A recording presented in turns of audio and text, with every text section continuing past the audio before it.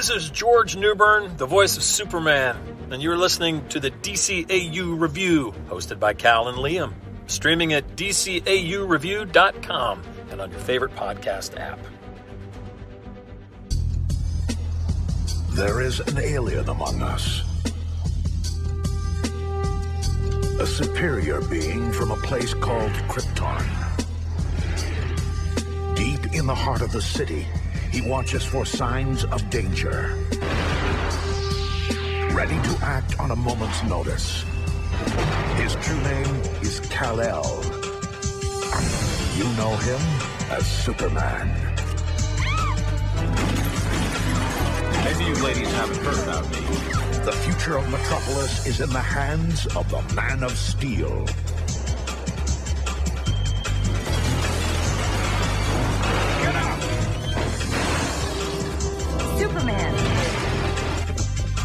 Get up. He's gonna be busy. I said get up. Superman. Welcome, everybody, to episode 236 of the DCAU Review.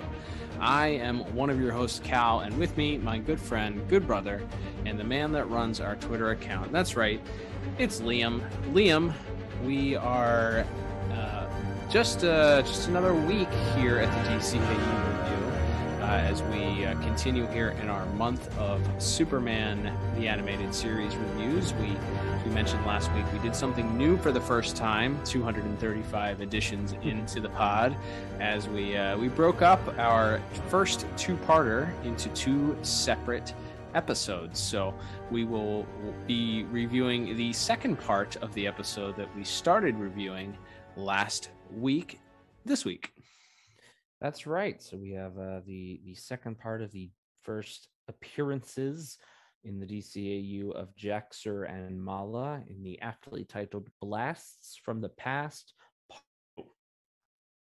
Yes, part two, indeed. And uh, this episode originally aired here in the States on September the 9th, 1997, which is uh, actually, th- that, that doesn't seem right. September the, the, last one was September the 8th, 1997. This was September the 9th. This was a weekday debut. That doesn't make too many. I don't believe that. I think these. I think DCAU wiki might be incorrect with that one, but let's uh sure, let's say for for argument's sake it was September the 9th, 1997. Uh here in the states and of course Liam before we get into our uh, uh, review and f- continue our our review rather of this week's episodes, we'll remind everybody we did did have some scores for each of these categories last week, just kind of a our feelers. We put our feelers out, Mhm. gen- our general thoughts where we were sitting. Uh, they were not final scores. We will we will have our final scores this week as we kind of settle on individual scores for each each uh, each category here. Before we do, of course, we are going to get our official IMDb synopsis for this week's episode, which of course is brought to you by the Pod Tower. Head over to youtube.com slash the Pod Tower for our entire catalog of episodes, including last week's part one. I don't know why you'd be listening to part two before you listen to part one, but maybe you're some sort of psycho that prefers to go out in your own sort of maybe you're Bizarro. Maybe Bizarro is, is listening to this episode. Him him listen to part two before part one. Um, and uh, yeah, uh, and so after this episode is done, if you are Bizarro, go back on the Pod Tower, youtube.com slash the Pod Tower, and check out part one.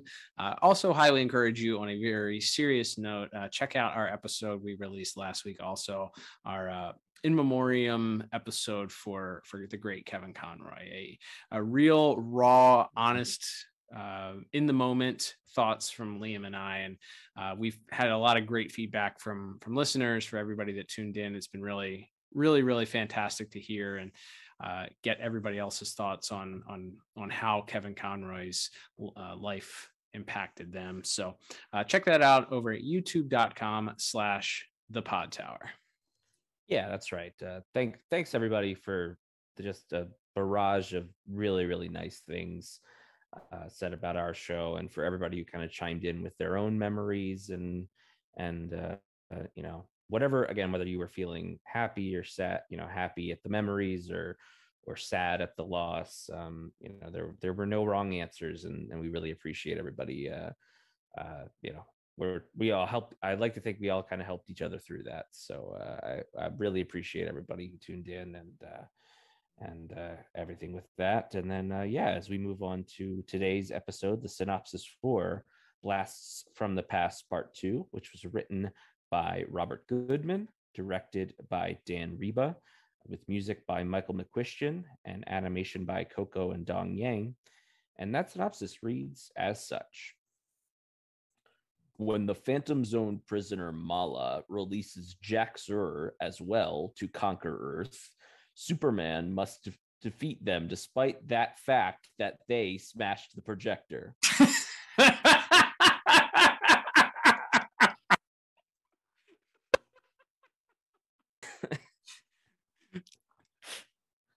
Remember, listeners, this is the official IMDb synopsis. So That's we- right. we didn't write this. This is this is straight from the source of the official synopsis found on the Internet Movie Database. So don't hate us. You know, if you don't agree with that synopsis, I want to give that five stars just just because of how bad it is. But Incredible. yeah, incredibly bad. It's so so so it's, it's bad in every way. It's not particularly like well constructed English. bad. It's it doesn't accurately describe what happens in the episode. Mhm, It's mhm. missing details. Like what projector are you talking about? I don't know. uh just terrible. Just a terrible job, but uh you know, that makes it that makes it way better than than a lot of these synopses we read which are are merely okay. Uh this one was was funny bad, which we always appreciate. oh, so good. Yes, indeed. Um, all right, Liam. So we pick up in this uh, in this episode. If you were last recall, we last left our hero. Uh, he was he was uh, finding a un- semi unconscious uh, Emil Hamilton, or as uh, as one of our listeners, I believe it's Ranky Custom suggested this week. We missed the very obvious joke of Emil Hamilton. Um, as we've commented on his just absolutely fantastic best perhaps top three dcau tans uh, we have uh, we have emil hamilton recovering from being uh, knocked out and and uh, Mala has made off with the Phantom Zone projector, the aforementioned projector, as it mentioned in the the IMDb synopsis. We have to assume it's the same projector anyway. so that projector was stolen from Star Labs. Mala then uh, took it back to the Star Labs cabin where she decided to release Jax-Ur and introduce him to the planet Earth as a potentially a conqueror, as we assume, as she had turned on Superman after he re- refuted her advances and threatened to send her back to the Phantom Zone. So, uh, this is kind of where we pick things up here in part two, as uh, as Superman is actually taking Professor Hamilton to uh, the the North Pole, uh, to his his glacially uh, re- residence where he keeps the zoo. Uh, r- didn't realize until this episode, Liam, that this is the episode. w- Uh, I had forgotten that this is where it gets its name of the Fortress of Solitude, as Professor Professor Hamilton suggests that name, much to Superman's uh, chagrin. Superman doesn't quite understand it at first and thinks it's a little bit over the top, but uh, by the episode's end, it seems to have stuck. So uh, that's that's a pretty cool factoid about this episode. My word. It's incredible. These are the animals I saved off the preserver's ship. I come up here every now and then to feed them and steal a few moments to be by myself. You know, If anyone deserves their own fortress of solitude, it's you. Fortress of Solitude? Astounding. I could spend a career studying any one of them. I'm sure you could, but right now we should hurry. Oh, uh, yes, of course.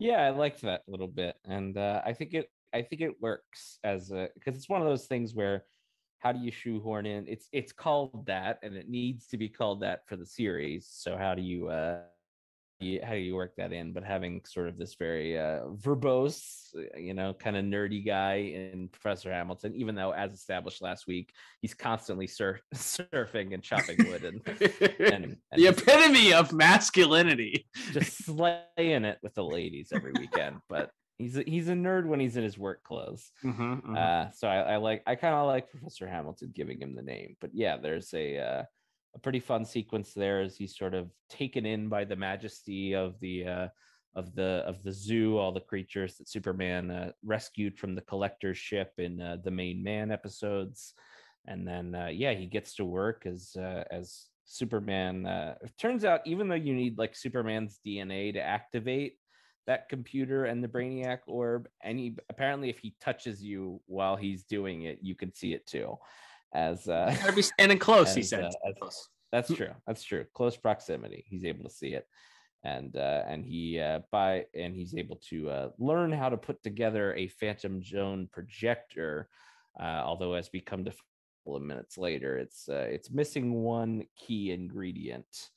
Uh, and while we uh, while they are learning that and getting ready to build their projector, we cut back to Metropolis and see Jax-Ur and Mala walk through Metropolis kind of uh, taking all taking in all of the sights. They're sort of remarking how primitive human beings are and uh, how they still use fossil fuels for cars and and things like that. And uh, they're sort of uh, almost run over by a by a. Uh, he's one of those guys, you know, that guy that you see in, if you live in anything resembling like a city Uh-huh. and there's always the guy. It's like it's one thing to ride a bike, but he's got to have like the the the aerodynamic bicycle helmet and the shorts and everything. and the skin tight like morph suit that only you Mhm. only wear if you've been in the Tour de France. Yeah. Right, exactly. So righteously, uh, Mala blows up his bike and, and drops it on his head, and uh, Definitely concussed that guy, right? That guy oh, oh, one hundred percent. permanent brain damage based on the fact that his bike fell from great heights landing directly on his skull even if he's wearing a protective helmet like those things don't protect you from that force of uh of, of an object dropping on your head Absolutely. But yeah, they uh, we kind of see Mala continuing to wreak havoc at Jax-Ur's uh, encouragement as Jax-Ur's kind of still gaining his strength from the yellow sun. Um, in the meantime, we cut back to the Daily Planet where uh, Superman has returned to his guise of Clark Kent, and he's sort of walking into the planet as a as a big commotion's going on, and and uh, Lois has to sort of tell him to to look at one of the big television screens in the in the Daily Planet to uh, alert him that in fact Jax-Ur and Mala, mostly Mala, in fact, are uh, are causing quite a bit of ruckus downtown, which uh, sends our hero springing into action. That's right, absolutely. And this is where the majority of the episode takes place. We get a huge fight that breaks out between Lois and or not Lois. Lois comes later, but between Superman and Mala and Jax-Ur sort of just stands by. We get a very fun sequence that we'll talk about in visuals where uh, where Superman uh, chases after Mala, who has taken away a a mail truck, a United States mail truck, and is flying over Metropolis with it. And they end up uh, doing some battle in the middle of the of the truck. Superman. sort of- Okay, hang on, hang on. Just to recap, uh, wanted to return his society to former greatness, Mhm, led a coup attempt, mhm. attacking the post office. These parallels do not stop. Not that I'm talking about anyone in particular. Right. You would have to be a madman to draw parallels to anything existing in real life in 2022, the year of our Lord, 25 years after this cartoon debuted. Come on. Mm-mm. Let's let's not let's not make it a mountain out of a molehill. No, but you're right. Absolutely. I, I didn't even think about that one. That's that's a that's a pretty great one. on the nose. As we t- mentioned last week, The Simpsons has nothing on this episode of Superman uh, predicting the future. But yeah, so we have uh, we have a mail truck that is that is falling because um, Mala was carrying it, and Superman Superman sort of flies up, punches her through it. They're sort of doing battle as the as the mail truck falls down to earth. Uh, there's continued damage.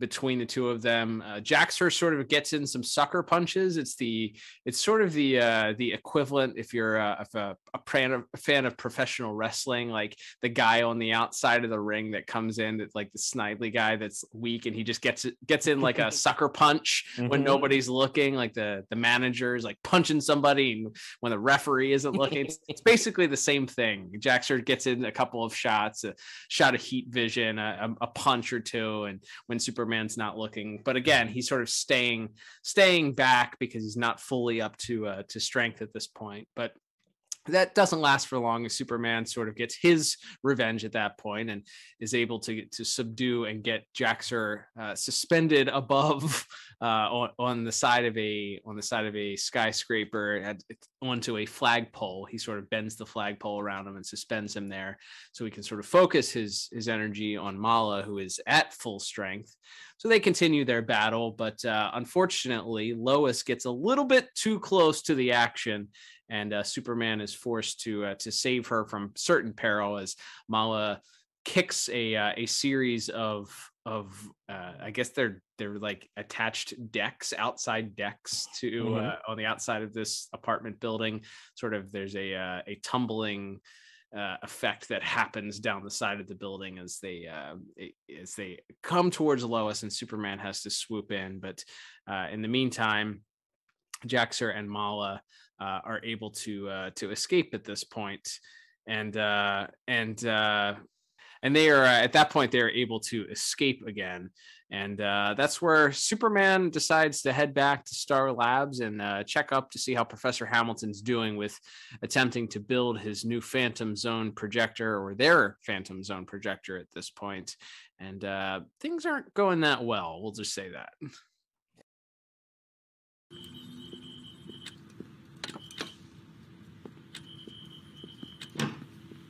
How's it coming, Professor?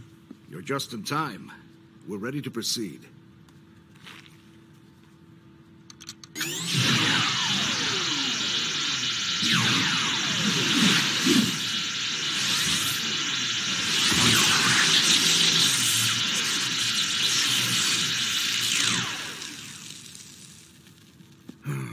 so close.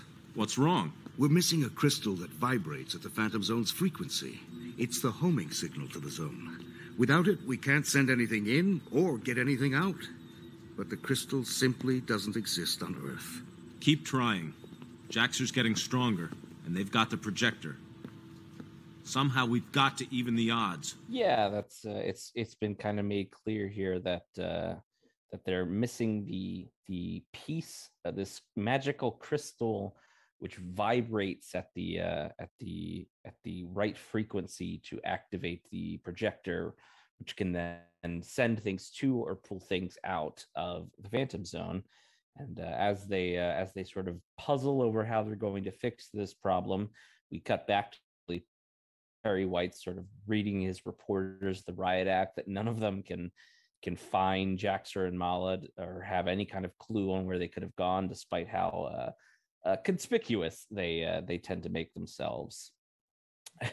but thankfully, as uh, as fate would have it, a very Superman two moment, uh, the very Chris Reeve Superman moment. Uh, Jax-Ur and Mala bust into the Daily Planet, and uh, in order to get Superman's attention, what else? They kidnap Lois and uh, tell him to come to Mala's cabin, the Star Labs retreat, of course um, and uh, and from there we get uh, Superman. Superman, I do appreciate, tries to play. He he's kind of smart in this scene while also being a little bit dumb. Uh, as he arrives in uh, in the the of course the anti kryptonite suit, and he uh, he brings of course a piece of kryptonite with him to weaken Mala. And uh, as as he sort of has her dead to rights, he leaves Lois with the rock and goes in search of uh, Jax-Ur, who is just kind of floating in the air and has, of course, the Phantom Zone projector and uh, uses it on Superman. It sends Superman to the Phantom Zone, a very dramatic moment. And then, just for the icing on the cake, he uh, he activates his uh, his still not quite fully powered heat vision to destroy the Phantom Zone projector and to apparently leave Superman stuck in the Phantom Zone as uh, as Lois kind of vows revenge somewhat impotently as they uh, they go off to conquer the world. There are so many ways to kill her, I can hardly choose. No. Let her live. She's a reporter. Let her tell her world that Superman is gone forever.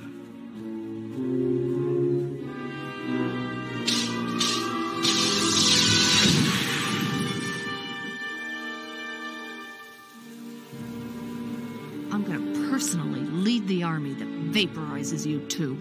Or vice versa. Either way, see you soon.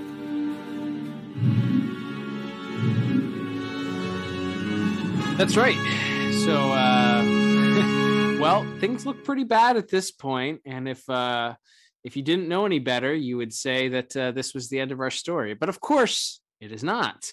Uh, while we get sort of a video montage of, of the news documenting the various travesties that Jax-Ur and Mala are putting the earth through while Superman has disappeared, uh, creating sandstorms in the Sahara and uh, attacking the United Nations uh, or the UN Security Council and uh, demanding that they surrender or threatening to do further damage.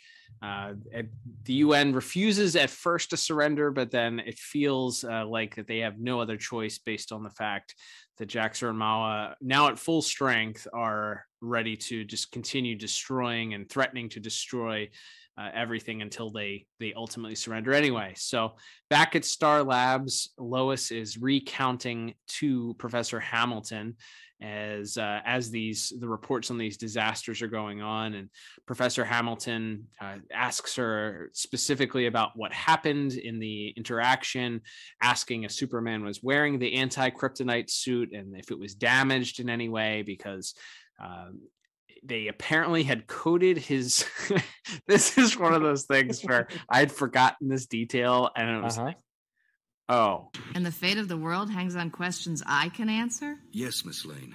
Tell me about Superman. Was he wearing the anti kryptonite suit when they sent him into the zone? Yeah, but. Was the suit damaged at all? It looked a little wrinkled.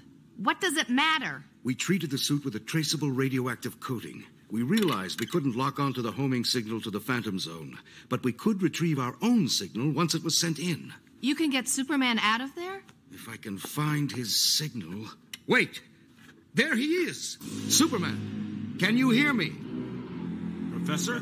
Hang on! We're going to try to pull you back. The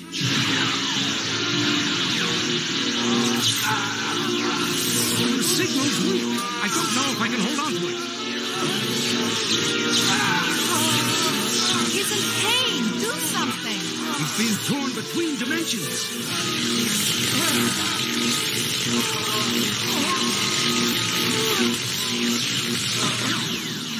Superman. Don't come too close, Lois. The radiation. In my mind, like in my in my brain, they go and find the little chip. Lois and Professor Hamilton went and found the little crystal, and then they just use that to complete the Phantom Zone. I had forgotten this little thing that they didn't the little crystal, and they uh, attempted to they are able to bring Superman out because they had coated his his uh, his anti kryptonite suit in radiation that would allow them to track the signal in between dimensions because the phantom zone projectors we learned is based on the multiversal theory. Uh, brainiac goes into a little bit of of uh, explanation and exposition as he's explaining there and begins to talk about it. So they're able to track his vibration essentially by the coating of radiation that they put on the anti kryptonite suit. Did mm-hmm. you follow that, Liam? Yeah, this it's it's very Mandela effect because I I like I could see the scene where they go and pick up the little piece from the destroyed uh Phantom Zone project projector. So I just assumed they went and got that, kind of like what you were saying. Mm-hmm. And uh, I was sure that's how this was resolved, but it's like no, they they they had magic radiation, and the radiation is somehow trackable, even though they said the only way to track it was through the vibrations of the universe earlier in the episode, and that allowed them and then I'm like, they start to pull them out and it's not working. And I'm like, oh, okay, because they still need the piece for it to work. Right. And I'm like, okay, so they'll try, it won't work, they'll go back. Nope, it works. Somehow it works. He even though he's Professor torn Hamilton between just- dimensions. keeps keeps uh just keeps twisting the uh the various yellow knobs and somehow it works somehow palpatine has returned That's right. Somehow Superman returned. You took the words right out of my mouth. uh, so yeah, Superman is back. He does tell Lois to stay back because of the radiation. He is he is always thinking of others. You gotta love that about Superman. Mhm, mhm. Uh, but uh, yeah, so at that point, they uh, they decide that now they're going to go scope out the the wreckage of where Jax-Ur and Mala destroyed the Phantom Zone projector. And wouldn't you know, they are able. Thank goodness that Jax-Ur's powers weren't all the way; otherwise, would have may have been incinerated completely. But because they weren't up to par yet, uh, they are able to locate the crystal, uh, this missing piece for the Phantom Zone projector. And at that point, uh, we cut to the UN Security Council where Jax-Ur and Mala are about to have the entire world surrendered to them with a very fancy document that says terms of surrender. You gotta love that Jax-Ur, being the the general, uh, requested that there be an actual like document showing that the world is surrendered to them. no take backs yeah terms of surrender. You gotta love it.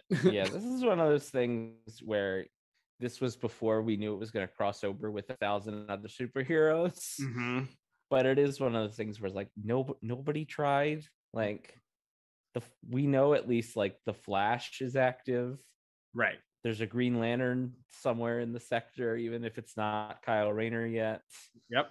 uh dr fate's out there somewhere Mhm. floating in a tower being sad Right. like there's the demon Etrigan is somewhere. Like we, mhm. we got we got nobody out here, nobody to step Right. up and save save the world. not that we saw anyway there's uh, there's there, there's a potential for another another tie-in comic or uh you know a clone wars type animated series to supplement this and make it make more sense but what was uh, happening?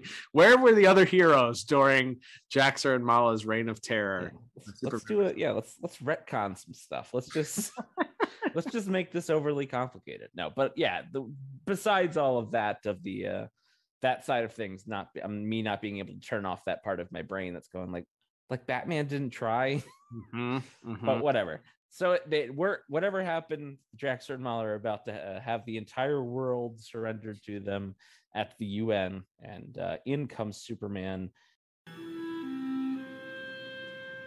In light of the destruction that has been wrought upon our world, it is clear that we have no choice but to surrender the planet to the High General Jack Sur.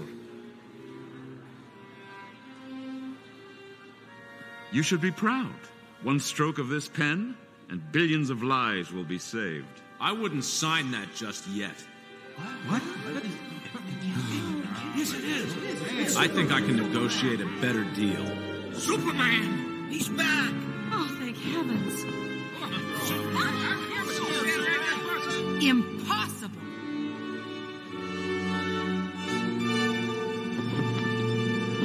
Doesn't bring the projector with him. Instead, he uh, he engages Jax-Ur and Mala in a pretty lengthy battle of fisticuffs uh, before finally luring them back into Metropolis and uh, towards the Daily Planet roof, where Lois and Professor Hamilton are waiting with the projector. And Lois is the one that gets to uh, do the honors and send both of them back to the Phantom Zone. Twist them knobs, Lois. That's right. She, uh, yeah, I don't know how you teach someone how to do this, but Professor Hamilton was able to uh, was able to teach Lois how to how to twist the unlabeled knobs. They should again. Look, I know the original version didn't have words on it, but maybe maybe now that that you're in control of it, Professor Hamilton, you could put like you know get a label maker is all I'm saying. and put it to put it to use here. But On uh, and off. there you go. but yes, they're sent back, and we we get kind of a nice little epilogue as as uh, Superman's back in the fortress, where we see him leave the projector, and he uh, he sort of remarks to himself, uh, while he doesn't feel lonely thanks to the uh, the animals up at the fortress, he uh, he is still the only Kryptonian. But then he sort of looks back at the projector and decides maybe that's for the best, and uh, that's where we uh, where we end things for this uh, part two. That's right. So, Liam, you and I originally, uh, our scores that we were leaning towards last week uh, at the end of part one, I had a six out of seven, all right, six out of 10 for plot, and you had a seven out of 10 for plot. So I'm interested to see here uh, how much this uh, moved the needle, if at all. Um, being completely honest, I do like there was a lot of action in this episode. It's a lot of fighting. Mhm. The, the Mala and Superman fight, and then the subsequent sort of chase scene at the end. It's funny, I checked the time because this episode feels like it's a lot longer than that first episode.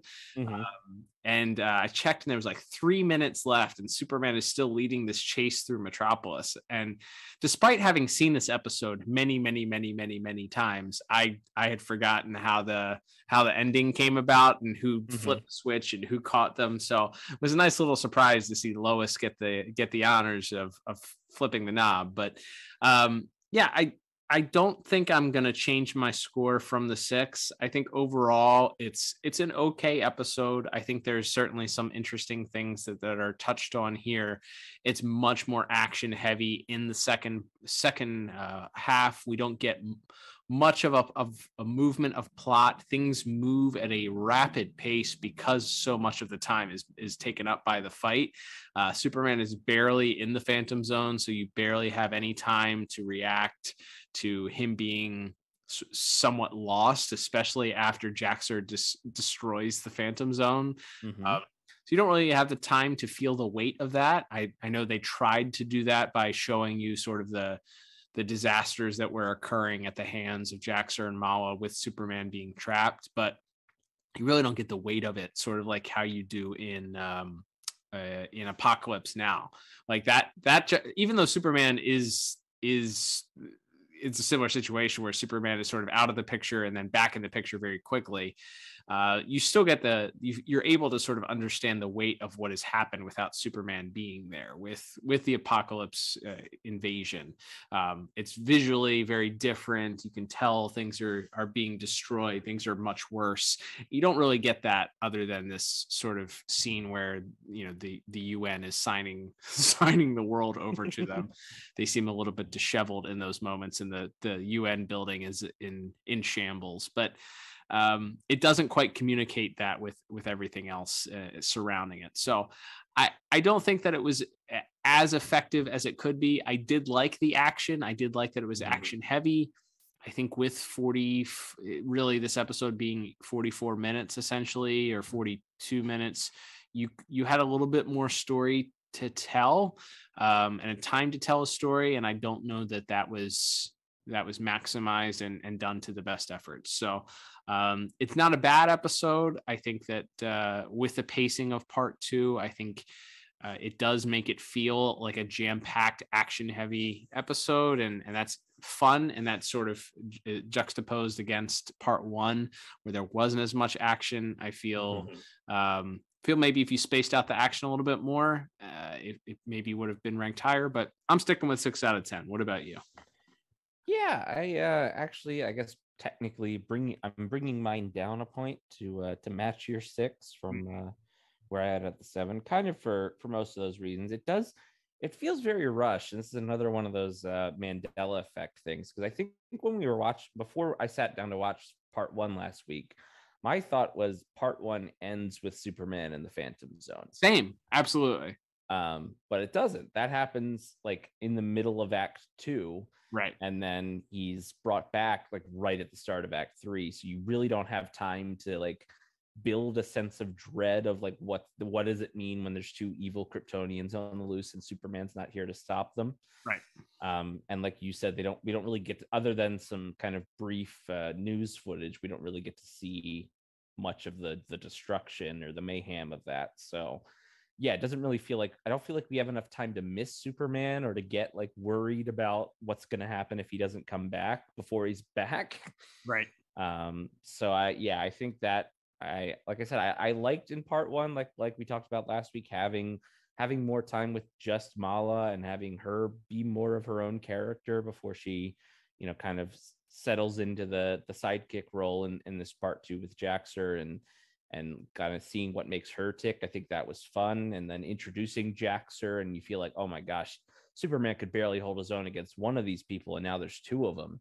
like it feels like you're building up to the big thing and like you said the action's fun and we'll certainly talk about that more in visuals but uh but yeah i just i just feel like part two feels a little bit rushed and uh and then like i said i, I like the resolution i like, like that especially because there's both in part one and part two lois kind of has this little side rivalry with mala and and she kind of gets to pay that off by being the one to send them back to the phantom zone. I think that's fun.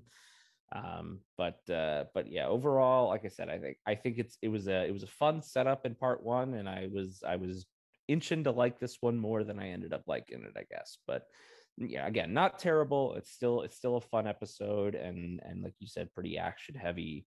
Um so there's not not a ton to complain about there. But as far as a resolution to what was set up and how how they utilize this you know this two part story i i think uh yeah it just felt like a little uneven. Like i feel like if we if we move the superman getting stuck in the phantom zone to part one and then act one of of part two is just all you know Jax-Ur and mala mayhem and destruction and you have lois and perry and whoever else kind of reacting to all that and hamilton while hamilton's you know frantically trying to build this this projector i think it could be could be really exciting. And you know we get to spend a little more time with our, our human resistance characters before before you bring superman back and and he saves the day at the end. So again not not terrible by any means but like i said i think part two just feels like uh, they they kind of rushed through some stuff that uh, could have been given a little more time to breathe. Yeah absolutely all right, Liam, let's move on to our second category, which is going to be animation and visuals. Uh, last week, I was sitting at a five out of 10 for animation and visuals. You were at a six out of 10. Um, what stuck out to you from this week's episode, which I believe Koko Dong Yang also uh, mm-hmm. credited with this week's animation? Um, what stuck out for you? First thing that stuck out to me, and I, I, I don't know if this is just the look of a. I don't know if this was more if what last week was more Koko and this week was more Dong Yang or vice versa. Mm-hmm. But everybody was just like a little bit off model for me, especially in the first two acts of the episode. Agreed. Like, Jax-Ur, especially, he's very like boxy, mm-hmm. I think, and he has like a really weirdly flat head in in a way that I didn't I sense of last week when admittedly he's only in two scenes last week but i just didn't get that sense and then it, he just he just felt a little bit off. I feel like facially both mala and lois looked a lot different than last week. Do you know what it looked like to me? It's like you know when you're typing and you're using a word processor mm-hmm. and you hit the italicize button? Like that's what i felt like happened in the third act with with with lois and mala and uh and uh and and Jax-Ur. Like it's like somebody italicized these people. I don't know how to explain it other than that. just that's what that's what it looked like to me. They were just all weirdly angled to one side. It's very strange. Yes. So yeah, I, I just thought I just thought everybody's a little bit off. And like animation wise, I don't think anything like it's it's pretty you know, fluid. There's as you mentioned the the sequence where Mala and Superman at the start of the episode is the bit where they're carrying this mail truck and the the mailman falls out the back and superman catches them and drops them on like an awning and then goes to fight her and then they have this fight inside the the mail truck and the mail truck is kind of falling out of the sky and spinning around and we see just like glimpses of the fight going back and forth and uh, I think that's a really really cool trick. I thought that I, was awesome. Yeah, yeah, was, I thought my favorite sequences that mm-hmm. uh, it, it it in that I can remember in a long time in Superman the animated series. Yeah, it was a really really cool uh cool sequence. I thought that was fun. They get back to Metropolis and and you have Superman sort of battling uh, Mala. Just the the the the sneaky reveal of Jax-Ur having his heat vision because he's just kind of been standing there with his his arms behind his back. I think mm-hmm. is, is really good and.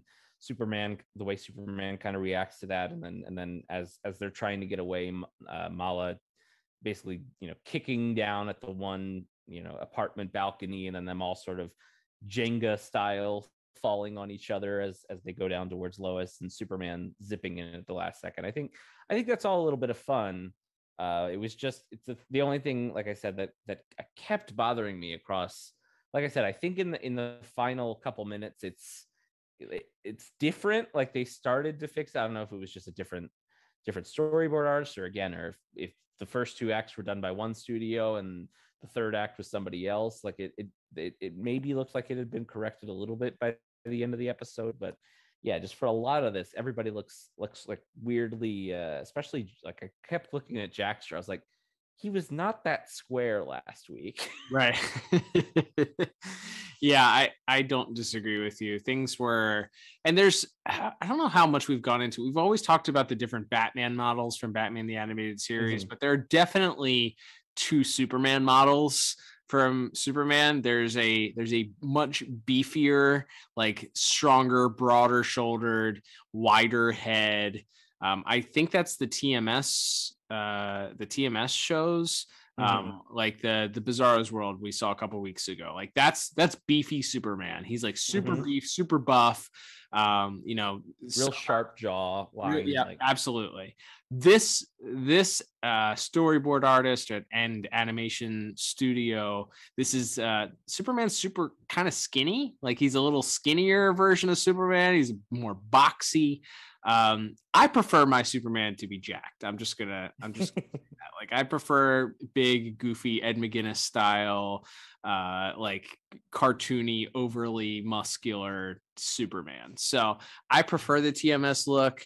Obviously, that there was an issue; they weren't going to get TMS for every single uh, one of these, but this one in particular, I would agree there was definitely some something off model there towards the end. I would also say that the color palette I felt like kept changing, especially in the scene where Mala has Superman on the ground and is attempting to get him to to to kneel before Jax-Ur essentially. Um mm-hmm. she like there's a shot they keep cutting from behind Superman's head to look up at Jax-Ur and then back down to like over Jax-Ur's shoulder down to Superman's face.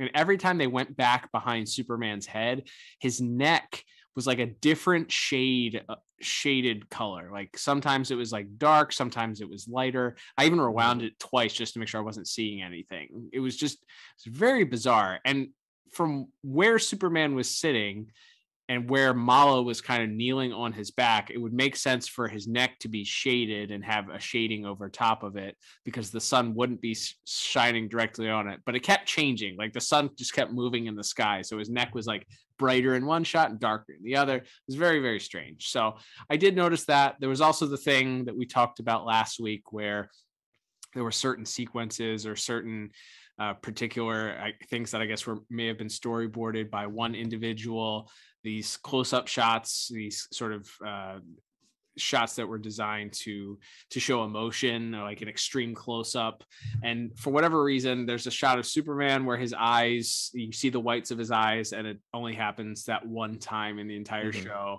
there's one or two times where that also happened with professor hamilton um, who also didn't have whites in his eyes in the first first part, but then did at various times during part two. So mm-hmm. that inconsistency always gets on my nerves. Like I, I just like just just keep it the same. Whatever you're gonna do, if they're gonna have whites behind their eyes, make it that way for the entire episode, or keep it uniform. Like don't don't switch back and forth because it stands out.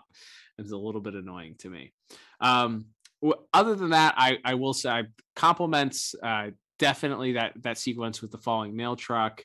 I think um, I think that the the fight between that that was also a I think potentially a way to hide some of the violence that they were insinuating because as the truck turns you don't see the punches but you see like the the truck bending outward as they're mm-hmm. as they're sort of being pushed into the different sides or being smashed into the different sides so uh, very very very smart way of doing that if they were trying to limit the amount of violence that they were uh, that they were showing um, but I I love that when uh, when Superman uh, is is uh, being chased down by Mala and Jax-Ur in sort of the final scene, uh, he gets knocked into this bridge, and there's a uh, there's a truck that stops. Of course, it's a gas it's a fuel tanker, a gasoline truck is stuck on this bridge, and uh, and Superman is there once again being forced uh, attempted forced to surrender to Jax-Ur and he uses his heat vision to uh, to ignite the truck and and Jax-Ur and mala go shooting into the air and i love that they both have individual smoke trails that Yes. follow them into the sky i thought that that was hilarious and a great little great little bit there that they're they you know almost like they were missiles being shot into the sky on their own um Mhm. I loved that, uh, and I loved the the the smirk on Lois's face as she's able to to capture capture Jax-Ur and Mala at the end was was super super on point. And then as Superman looks into the viewfinder and says parole revoked, seeing them back there, uh, sort of struggling once again in the very Kirby fight as we talked about uh, uh, Phantom Zone. I I enjoyed that, and I I would say also the the animation and the the way that they did Superman sort of struggling to escape the Phantom Zone. I thought that was done really well. Um, it- I, you know, you get this sort of fading in and out of the scene, and Superman's very exaggerated, sort of struggling, and it felt very much like something you would see in a comic book. I, I thought Mhm. that was animated really well. I thought that you really got that he was going through a, a painful situation in that moment. But uh, yeah, for all of those reasons, um, I bumped my score up by by two points from from what I where I had it sitting last week. So I went from a five to a seven for this week. I think there is some good stuff. I think there's some great action in this and uh, enjoyable uh, animation. There is some things that are off. There's some things that uh, you know were a little bit wonky, as we pointed out. But I think those those high points of those action sequences sort of balanced it out there. So seven out of ten was what I ended up settling on.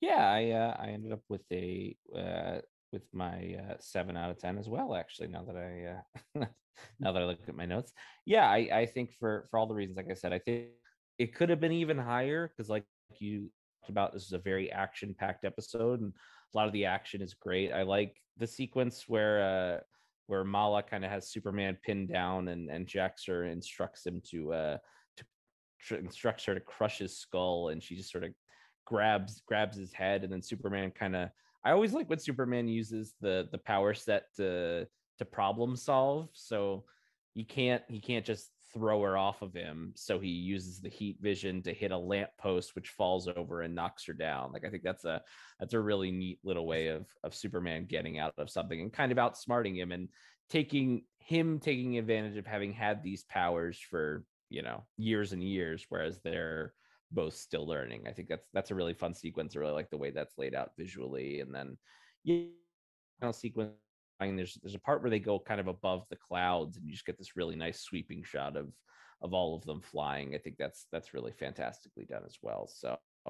Uh, like I said, the uh, the the off modelness of it, like I said, especially in the first two backs, maybe brought it down lower than it would have been, but uh, but I think still the uh, the the action I think wins out ultimately, and you have a you have a lot of fun there in this in the second part. There you go. All right, Liam, let's move on to our next category, which is going to be music. And uh, I believe Kristopher Carter, once again, responsible for music this week. Mike, Michael McCuistion. this Oh, that's right. Michael, Michael McCuistion. My, my bad. You did mention that at the beginning. Uh, so, Mr. McCuistion, responsible for the music this week. Um, did you have anything stick out to you um, other than, I think, my favorite scene in the entire episode? Uh, that was when Superman makes his triumphant return uh, in the UN Security Council, stopping stopping the world from signing themselves over to uh, Jax-Ur and Mala. That uh, that Superman theme that came in there, boy, phew, boy howdy, what a great, great, great scene, great Mhm. back backing track there, and uh, everything about that was great. But uh, I had a few other notes here, but uh, what about you? Any anything of note for your uh, musical musical notes? Yeah, I really love the uh there's a big kind of very dreadful when uh when the fan anytime the phantom zone projector is used. I don't know if we mentioned this in part 1. There's this very dramatic uh theme that kind of kick, kicks in for that. So when uh when Jax-Ur uses it on Superman, you kind of get this really dramatic bit and then it kind of kicks into overdrive as he then destroys it and and like we said Lois kind of vows revenge as they as they fly off uh, I think there's there's uh, there's some cool music used to actually represent, and again, it's kind of brought in when, as we talked about the scene where Hamilton and Lois are trying to pull Superman back out of the Phantom Zone. I think it's there's some cool little uh, music added in there, and then yeah, I, I enjoyed the the fight music throughout the uh, that whole final battle there. I think is pretty fun and and frenetic, and I couldn't. I'd have to go back and maybe listen to it a few more times to pick up if there was like a specific Jax-Ur and Mala theme being used, or if that was part of that same piece of music of the that's used during the the Phantom Zone moments. But uh, I I enjoyed the uh, the final battle uh, music as well, kind of keeping up that very uh, a bit more fast pace there. Yeah, I I uh I think that that was finally that was a fine fine backing track for that scene. I think the music also and the the the main fight scene was was pretty solid also. Um i will point out and i don't know if you noticed this um you might have to go back and listen to it and, and let me know your thoughts or uh, the listeners can also. But in the final little bit there that we get where superman returns to the fortress of solitude the theme that plays I thought was very, very reminiscent of the sort of a, a minor key version of the John Williams Superman theme.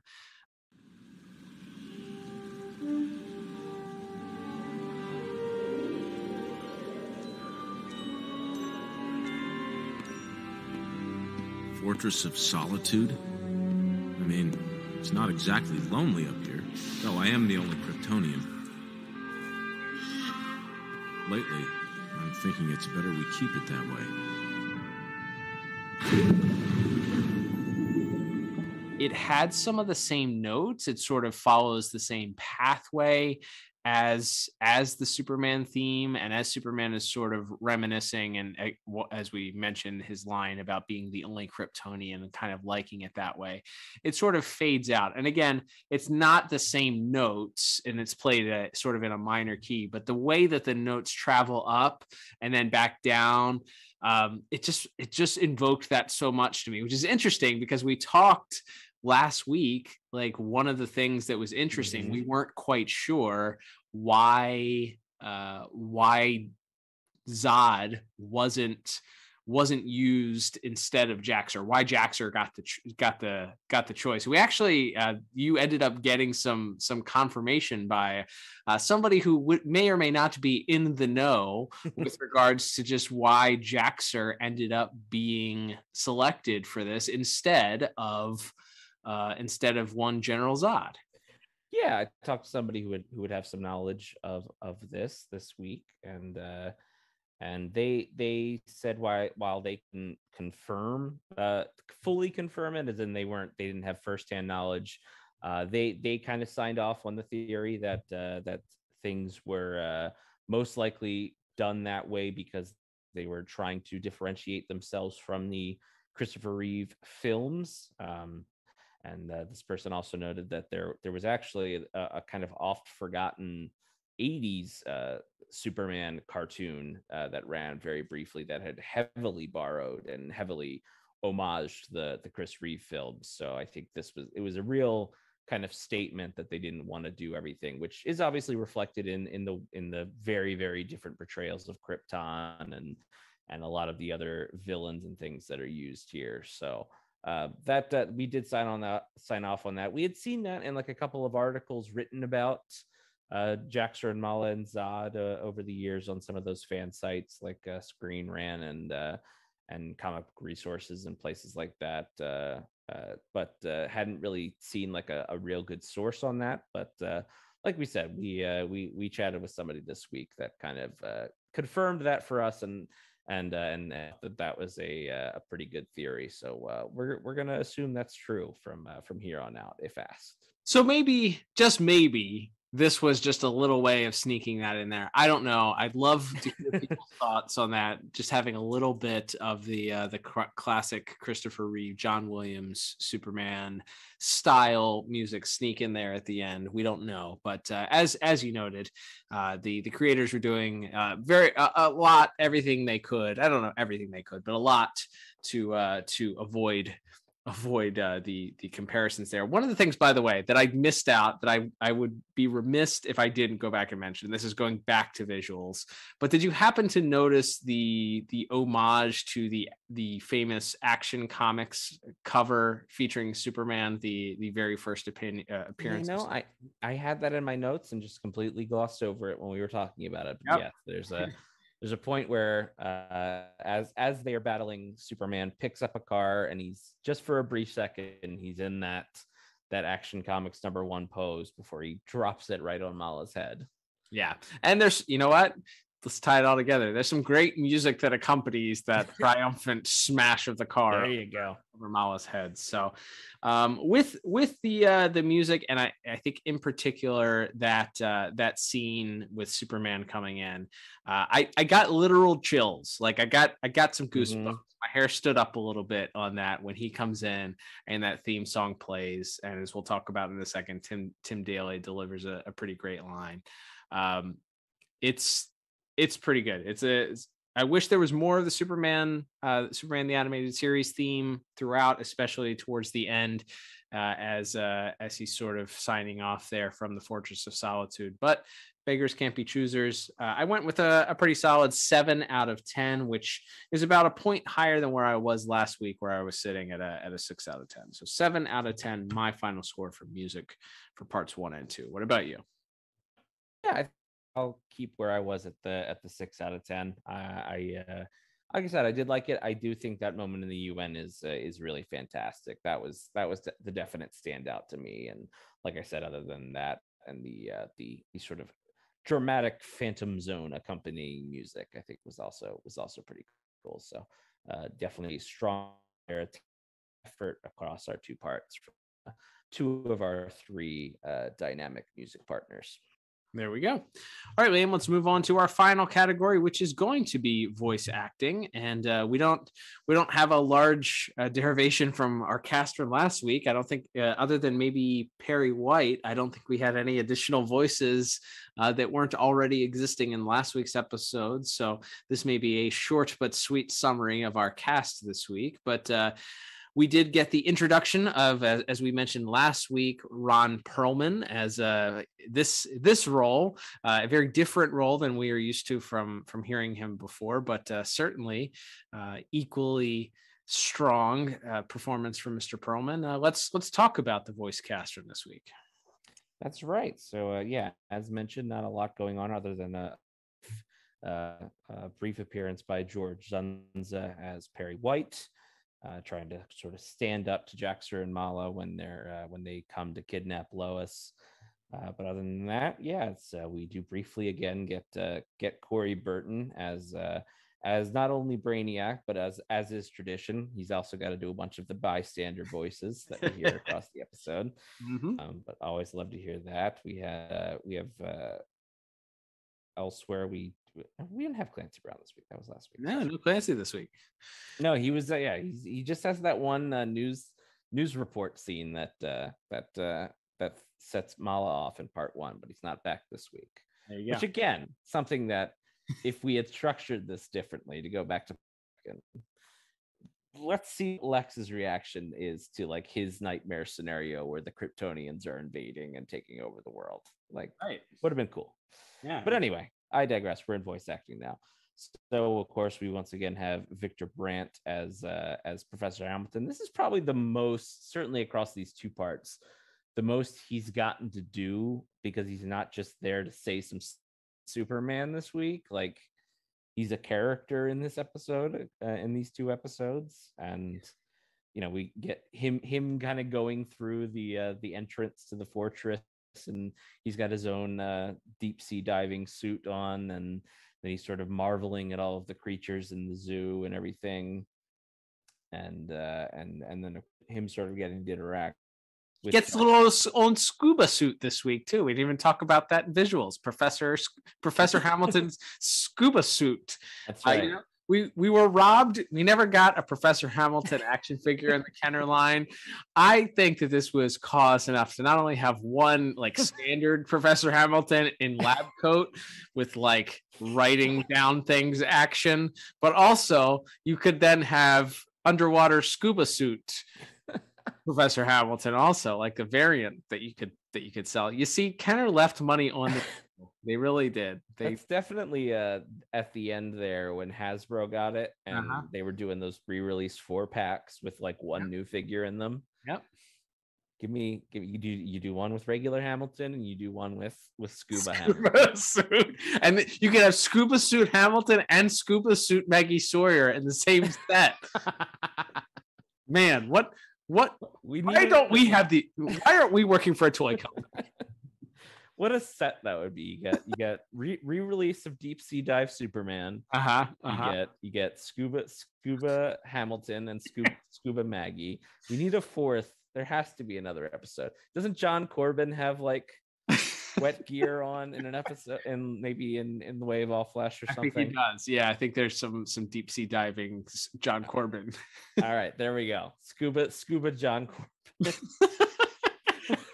Perfect set. You see, folks, we told you when you break up a two-parter into two episodes, it gives us this extra time to just riff on Goof. Isn't this much better? Oh my gosh, I'm having fun. I don't know, and We're having too much are too. But uh, yeah, so uh, elsewhere in our cast, we uh, we once again have Leslie Easterbrook as Mala, and uh, and of course Dana Delany as Lois Lane, and uh, as you mentioned, Cal Ron Perlman is Superman. Of of all our guest characters, obviously Ron Perlman gets a lot more to do this week because he's in the episode. I like him playing off of uh, of Leslie Easterbrook. I think I think them together is fun because she's she's just so into the the chaos and the destruction of it all, and he's sort of you know seemingly is a bit more uh, you know even keeled at first, but then you kind of get the sense that he's he's just as sick as her. Maybe he's just a little better at uh, at hiding the uh, the demeanor in, Mhm. in some way, at least at first. But then uh, ultimately, they're both kind of undone by uh, by their hubris. And then da- Dana Delany has some really good lines in this one. The the line where she talks about how uh, she's going to personally lead the army that vaporizes them. I was like, Mhm. that's a pretty that's a pretty creative way to get around saying I'm gonna kill you. yes. yeah, I, agreed. I thought that was uh that was fun and, and as you said her her kind of getting the last laugh there at the end with uh with being the one to send send them back to the phantom zone is is pretty fun as well and I and liked her yeah, line also. She she holds unfortunately the dubious notion for having the most dated line of the episode where she mentions the white pages, which Ooh. kids, if you're not sure what the white pages were, there used to be these giant books that had a list of every phone number in your area code. That's right. There was a encyclopedia, and an encyclopedia was also a book of collected knowledge. So if you don't know what an encyclopedia is, you can look that up also essentially it was it was google but it listed people's names and phone numbers. And she says that you can't look up Jax-Ur and mala in the white pages meaning you can't just ring them on the phone. So if you didn't get that reference didn't know what the white pages are we are providing a service here for you. Please subscribe and uh, like all of our content as a as a form of payment. Thank you. Love that. Uh but yes then we of course have uh we have tim daly as superman. And uh, he gets I, he gets a little bit more to do i think in part two because he he gets to play off both uh, both ron perlman and uh, and leslie easterbrook here. He's got some he's got some pretty good like uh like like quippy action hero one liners Yeah. when uh, when uh, you know Jax-Ur's sort of uh, you know waxing poetic about the similarities between Superman and Jor-El, but uh, you know he figures that Superman won't surrender and join their cause, and he gets to tell Jaxer that guess you're not as dumb as you look.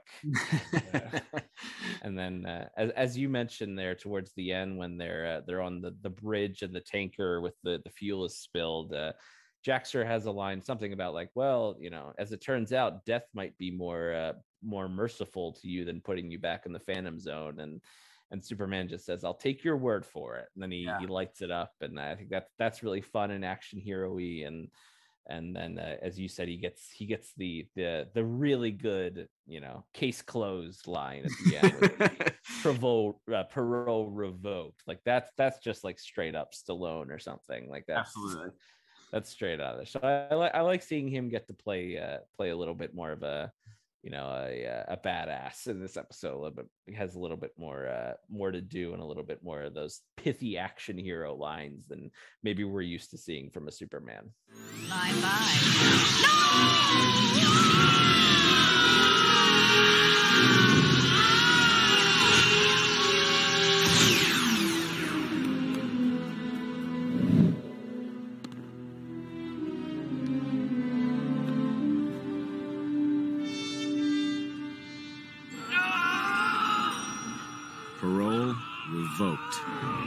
I love it. It sort of sort of lends to the the other side of the Superman character, and and super and Tim Daly does a, a fantastic job in delivering the lines in in this Mhm. episode because it doesn't feel cliched. It feels it just feels like Superman, despite the fact that Superman is, as we talked about last week, uh, is very uh, selfless and th- thinking of others and and kind and looking for the for the good in other people and, and kind of looking to that first.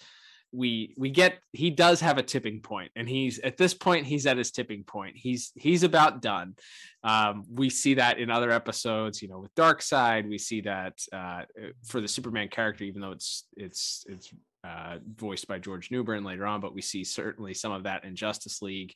But you see that when that f- switch flips with Superman, where he's not going to be Mr. Nice Guy anymore. Like he tried, he's done. Like he's he's out of patience. So I love uh, when in, in this this episode those lines sort of just communicate that that being done with with Jax-Ur and Mala and just ready to to send them back to the Phantom Zone. He's no longer hesitant. Mm-hmm. He's no longer interested in trying to reform either of them. It's just back to the Phantom Zone where you started. Like this was a mistake.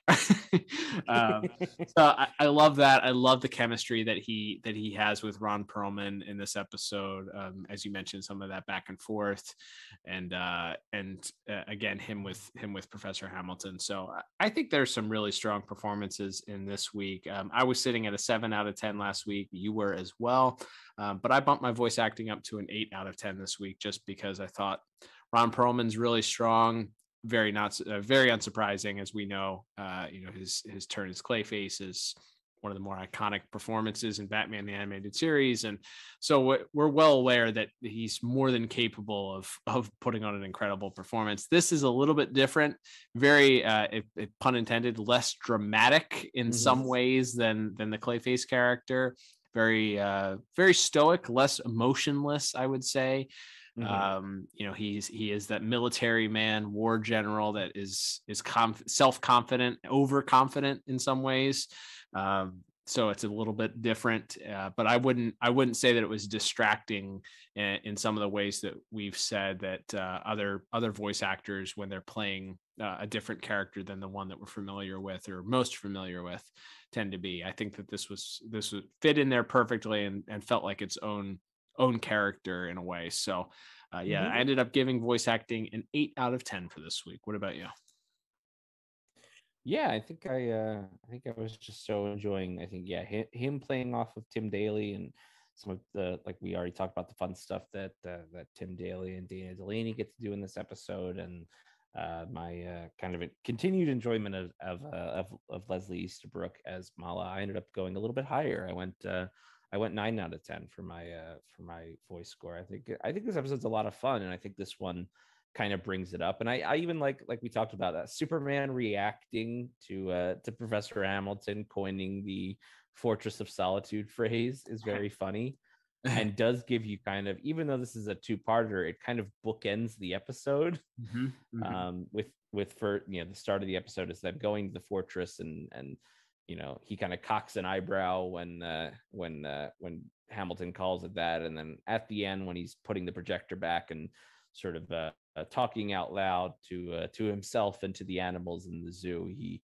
he kind of uh, he's not he's not so sure about that phrase but uh he he kind of likes it the way he kind of the way he kind of just nicely puts a puts a button on it and gives you your uh, your your happy ending as he you know pets pets the uh pets the creatures and then swims off back towards uh back towards civilization i think it's uh, tim daly does uh, just a really really great job in this episode and i think i think him combined with our our and, and Dana Delany really brought it up a little bit extra for me this week. There you go. All right, Liam. Well, that will. Whoa, that sound. Before we get to our final totals, we are going to award a bonus point. Well, we meaning I. I am going to award a bonus point for this week's episode, and uh, it is the for the aforementioned scene where Superman arrives uh, to save the day at the UN Security Council. Um, as I mentioned in as we were talking about it in, in music, and also talked about it in visuals um it's it's just a great scene. It's everything you want from a from a surprise arrival from superman. Just when everything seems like uh it's it's gone to hell in a handbasket even though we already knew that he had escaped the phantom zone at that point uh it is it is pretty awesome to see the the villains get their just desserts and be surprised. And as i said everything about it from him just sort of floating there and slowly coming in tim daly delivering the line i wouldn't do that uh, quite yet if I were you. And then the music swells. We get the the the Superman the animated series Shirley Walker theme come in very strong. Just superb. It's just everything that you want from a scene. So because the fact that I got goosebumps alone on that watch, I felt like it. I was like, ah, that deserves a bonus point because it gave me goosebumps. That's really good. So I love that. I love a bonus point for goosebumps. That's, that's as good of a reason for it's it's also a great point and what what we talk about all the time why we break down the show into these four separate categories because you know it's not just one thing that makes these cartoons going back and re- revisiting you know some 25 to 30 years after they've debuted it's it's stuff like that and it's moments where it's the voice acting it's the music it's the animation it's it's all of it it's it's such a great moment and like we said that's that's like the most dire things fear feel when you have like the the UN secretary or whoever he is, mm-hmm. spokesman for planet Earth, uh, about to turn the world over to uh, to our villains, and then Superman kind of arrives just at the last second and you know you know talks about how you know I wouldn't sign that just yet, and then the music kicks in, and then you kind of pan up and you hear all of the you know all the the background actors are oh he's back he's back everything like we're saved. Like it's it's just this really nice moment where where you feel like i mean it's it's it's over it's over it's spoken about ad nauseum at this point when it relates to superman but the when you look at that character as like you know the world's fireman the guy that's that's bringing you hope and that's gonna it's gonna you know everything's gonna be okay now because superman's here like i think that's that's a great encapsulation of that in that moment and it's all of our various categories that we talk about working together Um, absolutely all right, Liam. Uh, well, now once we uh, we look at our total scores now, including my bonus point here, we end up with a 29. At least I do. I end up with a 29 out of 40. What about you? And I end up just one point lower at uh, 28 out of 40. All right. Well, I think it's pretty well established based on the fact that these characters once again return. we get the origin of the Fortress of Solitude name here, so that's pretty important. We get scuba suit Emil Hamilton. uh, Anything that adds to the Professor Hamilton lore that we have that we have constructed over the last two weeks, I think is gonna it's gonna bump this into a into a must watch. I I'd say I'd say based on the impact of these characters to the series and uh and even though they don't return outside of Superman the animated series, we did talk about, and uh, if you check out our social media at DCAU Review, plenty of tie-in material featuring Jax-Ur and Mala. So mm-hmm. uh, I think I think this is a, this is a must-watch based on the fact that we kind of get everybody's backstory and we get the we get a pretty interesting Superman tale here. So I'd I'd say overall DCAU this is probably a, a must watch based on the impact that it leaves Superman and and uh, this this series at least. Yeah, I agree. It's it's a fun two part adventure, and then it's a it's a good episode of the series. You've got a villain that comes back. Yeah, I think this is a this is definitely a must watch. A two thumbs up.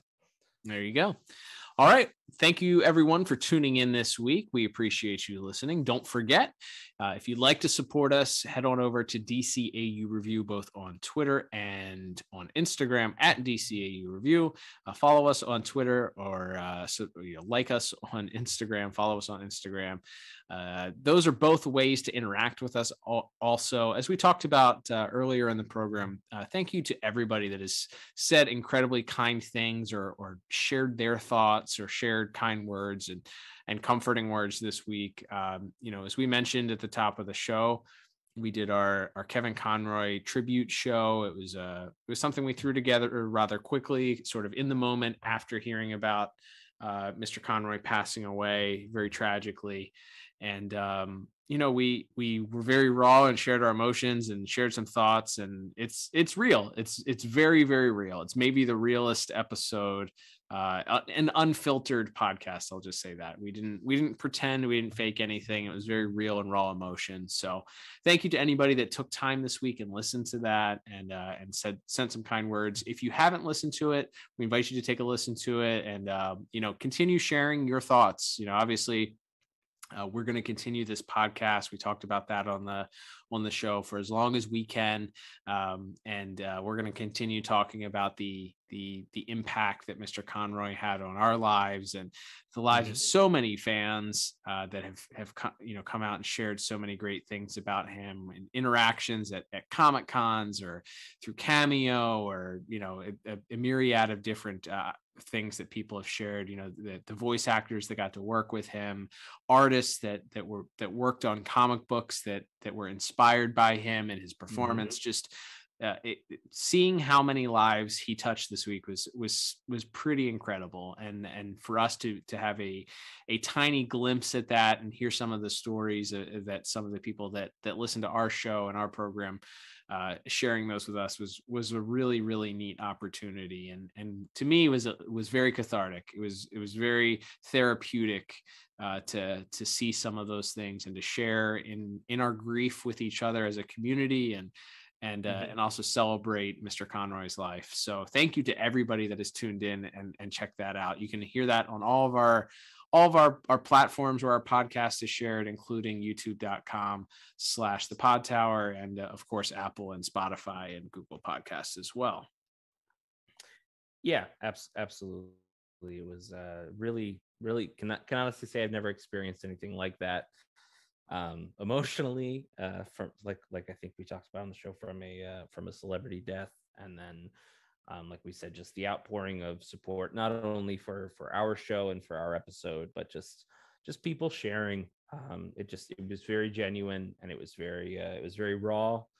And uh you know if if if we were able to you know help some people maybe uh, who who weren't quite sure how to put it into words um where uh, we're very we're very happy that we were able to kind of uh, let let you guys in on on how we were feeling and and uh, and help try to celebrate such a such an incredible person's life. And uh, and again if if we helped you that's great. And it, the feeling is is absolutely mutual. Um, just some of the messages that we, that were shared with us this week were incredibly touching. And uh, again not just about our show but just interactions like you said that people had had with kevin and and all that. It was uh, it was really beautiful, and um, it uh, it maybe restored a little bit of my faith in in humanity and the internet. Uh, just seeing how how many people came together to uh, to use their powers for good and to sort of collectively help each other through what is uh, you know it's uncharted waters. We've never we've never like I said never really experienced anything like that. So uh, thanks to everybody for for saying such nice things and for and for being so open and honest with uh, with how you were feeling as well. Absolutely. And if you'd like to continue sharing, as we mentioned, um, you can either send us a, a, DM on Instagram or on on Twitter, or tweet at us, or comment on uh, our pinned post. Is the on Instagram is our um, is our is our post uh, talking about our our episodes. So you can feel free to leave comments on there. We also have uh, have gathered as many of the the tributes and continue to gather them in our Instagram story highlights. So you can check that out. There's a Conroy tribute section that we have highlighted there, so you can go check some of those out, including some of the great things that people shared with us, um, ways that that Kevin Conroy really really impacted them. Liam, let's uh let's let's segue here as we continue talking. Thank you everybody for for continuing to listen and support the ways that you do. Subscribe to the pod, or or whether you subscribe to us on on a on a podcast platform or on YouTube, or uh, if you just listen to us. Thank you so much for doing so. We would definitely appreciate a su- subscribe. Uh, don't forget also uh, if you're if you're looking to support the podcast, you can follow us on social media at DCAU Review. Liam, we will be continuing next week, I believe, with yet another Superman the animated series review here, as we are we are dwindling slowly but surely here with our with our Superman coverage. But we have one more Saturday here in the month, and uh, we may or may not be dropping some bonus content for our Black Friday special next week. So be on the lookout for that as well. But uh, next Saturday, we will wrap up the month with our Superman reviews. That's right, Cal, and uh, we will be bringing back the uh, the character spotlight format next week. And uh, seeing that, as you mentioned, this is still a Superman the animated series focus month, we thought we'd pick one of the uh, the top Superman villains from across this series.